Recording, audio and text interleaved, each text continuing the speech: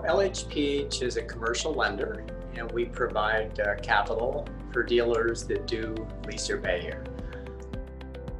Everybody on the block is doing buy here, pay here, and if you're the one doing lease here, pay here, you have now differentiated yourself from the rest of the, the market.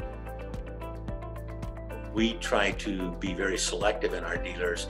Again, as I mentioned, we want dealers that are really trying to help people that are in a difficult situation financially. So it's really important that we do everything we can do to benefit all the stakeholders involved in our program. And that drives us. It drives us to continually improve our program and also to continually expand our geographic reach across the nation. What your customer wants is the best vehicle they can get for a payment they can afford. And leasing, hands down, can provide that so much better than buy here, pay here. Everybody here is just quality. That's all I can say.